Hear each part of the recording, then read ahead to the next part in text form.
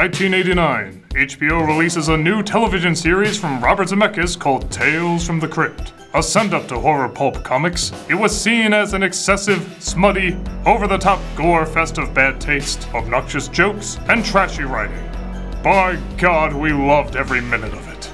In 1995, Universal releases a cinematic treatment of the TV show, Demon Knight. While not a critical darling, it did bring in almost double its budget, and over time gained a cult following. Years later, does it still have the same blood dripping grip with a bad pun attached as it did when it first came out? Was the Crypt Keeper the voice of Buster Bunny in the last few episodes of Tiny Toons? Bet you didn't know that one, did ya? Watch the Christmas special, you'll totally notice a difference. I'm Nostalgia Stack, and welcome to Nostalgia Ween.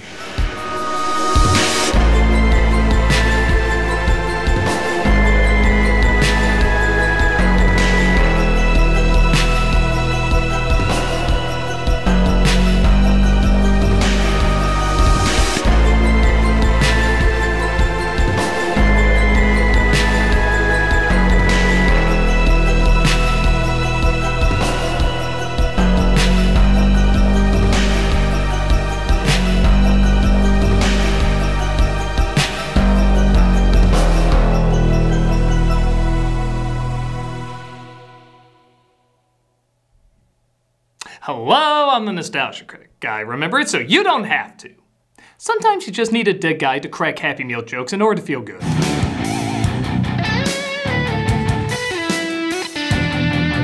Originally written as its own standalone movie, the script for Demon Knight caught the eye of Tales from the Crypt producers who figured to be a perfect segue into a bigger cinematic story. Where most Tales from the Crypt episodes are what the makers often called comeuppance stories, Demon Knight was more of a traditional survival story told in arguably an untraditional way. It delighted the hell out of me as a kid, just as much as it does now, and we're gonna see what made it stand out. Let's see if this film still matches the gory trashiness of the show! Boy, do I need to fire my editor. The hell am I supposed to do with that? This is Tales from the Crypt presents Demon Knight. How some kids had Sesame Street as their childhood TV song? We truly disturbed kids had this. You know who you are, and I love you all. Seriously, the price of admission was more than worth it just to see this opening on the big screen. It was just amazing to see it that large and with such incredible sound. Seriously, you can end this intro with. Tales from the Crypt. All right, that's it for me. Be good, everybody. So remember that one time you called a sex hotline? That woman you talked to is an actress now. You should have seen the look on Carl's face when I buried that axe in his chest. It makes me realize the empty connection I have with my father. I mean, how hot I am. Death is but a tiny hurdle in horror films, though, as the man she murdered comes back for revenge, but it looks like this is all a film set directed by the Crypt Keeper, voiced again by John Kassir. I kinda love how even though the actress is clearly acting hokey, he chooses to pick on the guy playing the monster. It makes sense, that would be the most important to him. You call that acting? Yes, as a matter of fact, I do call it acting. You're no Gory Cooper. You ain't even a Robert Redford. I don't need this, I'm John Larroquette, I was a Klingon in Star Trek 3! It's also ironic that while he chews this guy out for not being very convincing, this also isn't the most convincing effect. You can even see the reflection of the green screen on his collar. Good luck avoiding that future screenings. How the hell did they dig this guy up? I'm off to see if any more Night Court actors died. As usual, the Crypt Keeper introduces the symphony of scares we're about to endure. Fasten your drool cups and hold on to your vomit bags. We're going to the movies. And sinking film careers while we're at it. The story starts as a car chase ensues between a man named Breaker, played by William Sadler, and a man only known as the Collector, played by the best goddamn Billy Zane performance a goddamn Billy Zane performance could goddamn Billy Zane. Move over, Back to the Future henchman number four. Breaker blows up the car, but as the Black Knight put it, I've had worse. Did you see him? The guy I was chasing? Airbags, gotta love him. Did you see him? The film is great at not letting us know who the real good guy or bad guy is at first. Especially considering scenes like this don't get creepier with the passage of time. Hey kid, you want a quarter? How about a shiny new quarter? You want one? Dad, there's a guy outside stealing your car! Call the police impossibly, Chris Hansen! Breaker befriends every 80s and 90s cult film mascot, Dick Miller, who takes him to a hotel.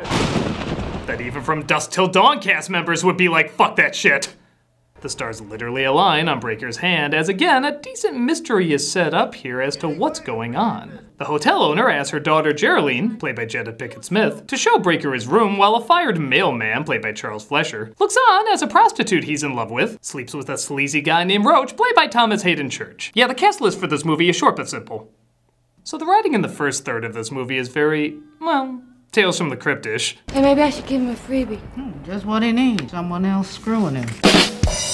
Are my sheets done yet? I couldn't get all those stains out. Damn guacamole. Get that pussy off the table.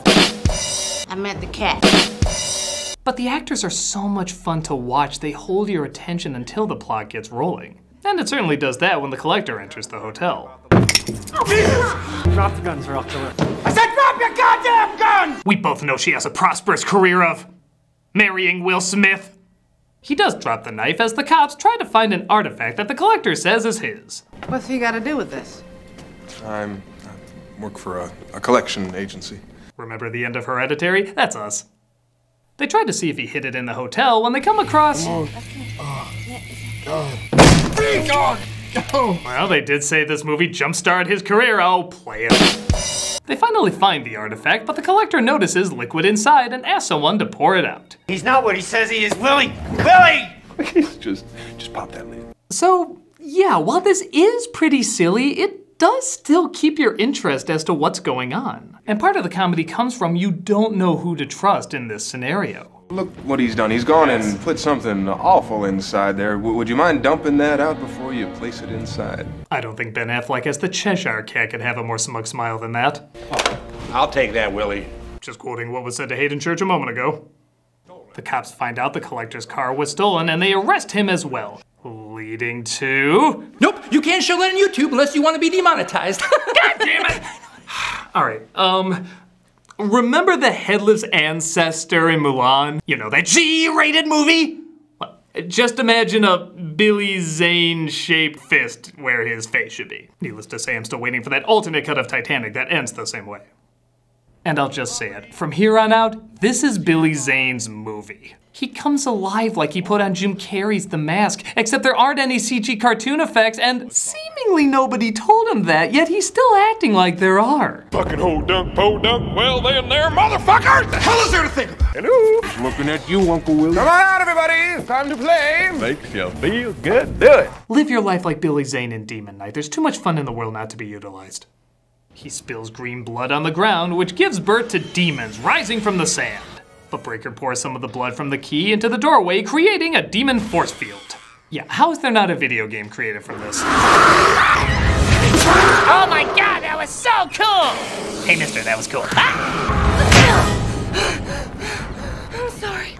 Don't be, he's only been alive for two minutes and already he's been punched by a prostitute. It took me 35 years to get that merit badge. They discover they have to hit the ice to kill them, but it shoots out a beam, hurting the mailman. Now, I of course wore a bunny suit to get in character for Roger Rabbit, so I insist on sitting in a prostitute's arms for hours for this performance. Give me the key, Breaker, for crying out loud. Breaker closes off the rest of the doorways as he explains what they're up against. What the hell are those things? Demons or something? Worse. Demons. Oh, that's sweet. That's just fucking sweet. He reacted to demons the same way you'd react to squirrels in an attic. Demons. Oh, that's sweet. That's just fucking sweet. Gotta get peanut butter, a trap. Can we electrocute him to death? Because I have the cables for that. Breaker has a flashback to him. yeah, th this all makes great. Let's see if this has the same subtle restraint passion of the Christ had. Somehow this is more subtle. He gets snapped back to reality as the prostitute is tempted by the collector who uses illusions and mind games to trick her into letting him turn her into a demon. All you have to do is let me in. Now this is a great effect when you realize there was no CG used for it. It was done on set. But when you realize the only way that can be done is through an air blowing device, it does kinda mess with the soothing mood a bit. All you have to do is let me in. I was already getting a Treehouse of Horror vibe, why stop now? The mailman enters the room unaware that the collector has possessed her and she rips him apart, as well as the hotel owners are. Breaker kills her though as they find a secret passage underground that everyone wants to use except Breaker. I say we give those goddamn demons what they want. I'm not gonna give you the key. You're gonna have to take it. And then I'm gonna have to kill you, right? Joke's on you. Spider-Man 3 will do that for me. They decide to give it a shot as they come across the boy from earlier and his demon parents. Wait, his parents weren't demons? Even though they fight the demons off, things get complicated because now there's seven people. Yeah, like I said, it gets complicated. I mean, there are only five of you. They need seven. It's like tumblers in a lock. Everything has to line up. Seven stars, seven people. It has to be the seventh hotel to have seven doors while seven brides for seven brothers plays on seven TVs. It's in the scripture! He reveals that the demons are the darkness before God said, Let there be light, and only a key passed down to a select chosen few carrying the blood of Christ can stop them. The blood in, inside.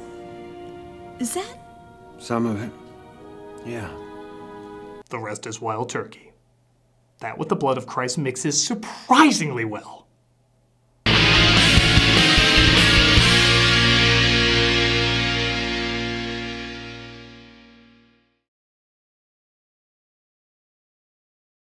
Folks, we're gonna be at Grand Rapids Comic Con in Grand Rapids, Michigan, November 8th to the 10th. We were there last year, we had a fantastic time, and we can't wait to return. We'll see you guys there.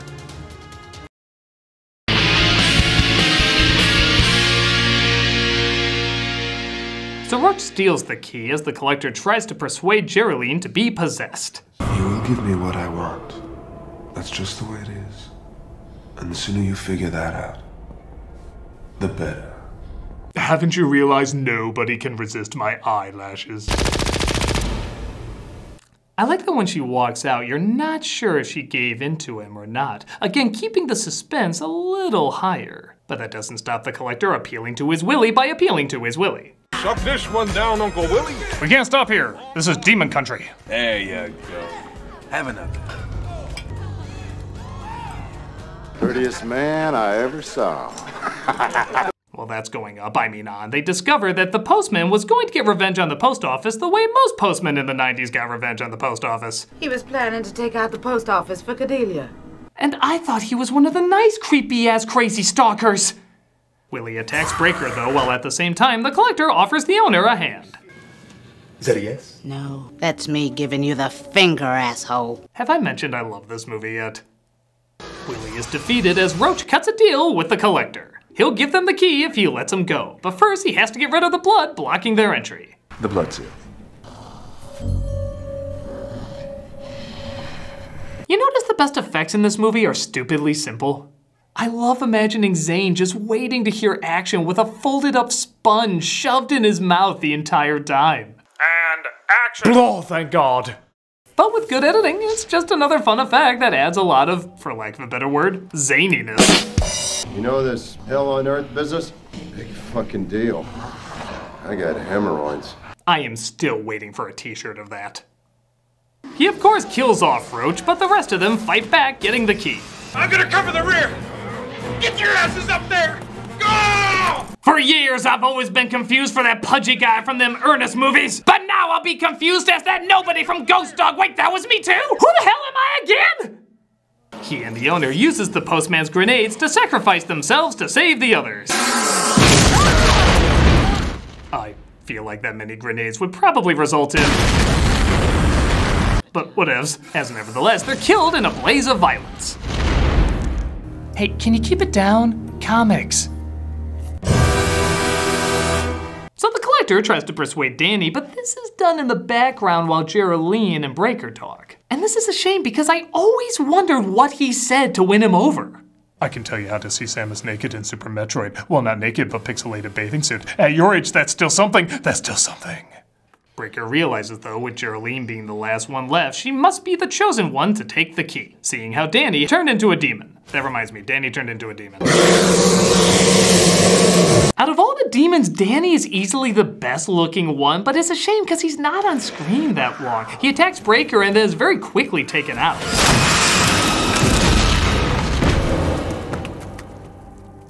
As Breaker dies, he passes on all the power and information of all the people who have been the protector of the key in the past. What? Should be interesting. I've never seen Death play himself before. Do your research on that one. That joke works on so many levels. I'm very proud of it. The collector makes his way to Geraldine, but she covers herself in the blood so he can't touch her. Bitch. He manages to wash the blood off her, but she puts the rest in her mouth. Truth be told, this does kinda drag out the climax as we know exactly what's gonna happen. She's gonna spit it on the collector, killing him off. Yet they keep postponing it like we don't know that's going to happen. But fuck it, who cares? It gives Billy Zane more of an excuse for mugging. You know, no one's ever brought a demon knight over to the other side before. Not in one piece, anyway. He's kinda like every supernatural fast talker, but with half the budget. Which weirdly makes him even more fun because he has to rely on his charm over effects. But it does get a little weird when he suddenly confesses his love for Geraldine. Yeah, that happens. Geraldine, I, I you. Geraldine, do you think you could ever find it in your heart to possibly mm, me? Hmm, let me check Google Maps. No, no. No, I have no idea where that came from. So yeah, that is random and odd, but that's also kind of why I like watching him, because he is so random and odd. So yeah, if he wants to open his fly to reveal he has Human Torch's splooge, I am really weirded out, yeah, but in this movie I'm okay with it. I'm gonna take your heart. Like I said, she does spit in his face, revealing his true form and blowing him to smithereens. Geraldine is left to find the next protector of the key as she blocks every entryway she goes through. No, it's okay. I'll wait for the next. I know ah, Bordello of Blood is next. The film ends with the Crypt Keeper going to the premiere of his own movie. But his producers saw it and weren't happy. I think my producers are trying to tell me something. Those actually are the producers, by the way. Zemeckis was too busy trying to figure out how to piss people off with contact. Now that's entertainment! I tend to agree with you. What can I say? I love this film. Demon Knight is not any kind of groundbreaking horror cinema, but it is a lot of fun. The story and goofy characters keep you engaged, there's a lot of imagination behind it, and even with a lower budget as horror movies at the time went, it turned out some very creative effects. Don't get me wrong, it can drag in a few places, and it's not the traditional Tales from the Crypt story of assholes getting what's coming to them. But I kind of appreciate that too. Like they knew it's a movie, and they don't want to just give people one long episode. They want to step up the game a bit. Over the years, its fans have grown, and you can definitely count me in the. It's over the top and ridiculous, but surprisingly hooks you in enough waiting for what's gonna happen next. Take a look if you haven't already. I'm a nostalgia critic guy, remember, so you don't have to. You fucking ho dunk, po dunk, well then there, motherfuckers! Hey, Doug Walker here. Uh, this charity is a really, really cool idea. It's called A Chance in Life. 150 million kids live in the streets. This charity wants to give, in the founder's words, a chance in life. These desperately poor kids live with no supervision and recoiled at adults telling them what to do. This independent nature inspired a visionary approach to youth development, giving the children the responsibility of running their own town. Self-government became the essence of life at these towns, providing the citizens, as the children are called, with the skills, confidence, and creativity to become active participants in their communities and the builders of their own lives. These boys and girls towns started in Italy but shifted from being a community of Italian war orphans to being the home of thousands of young refugees and unaccompanied minors. These young people escaping civil unrest, poverty, and persecution have come to these towns in Rome from over 20 different countries. The towns in Italy have touched the lives of over 30,000 young people. In June of 2018, A Chance in Life inaugurated Boys and Girls of Bolivia, Colombia, Guatemala, and Peru, where together they serve over a thousand children living in marginalized communities. This is such a cool idea, and you can help them create even more mentally and physically healthy children through your donations. Click on the link and see why Charity Navigator has given this organization its highest rating of 4 stars.